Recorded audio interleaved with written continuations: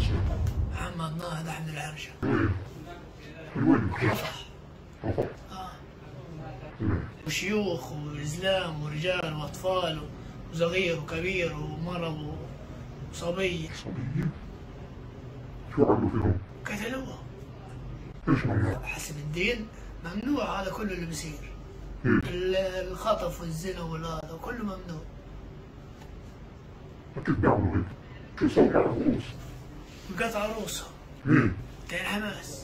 بعد ما قتلوا الناس قطع رؤوسهم جنبهم.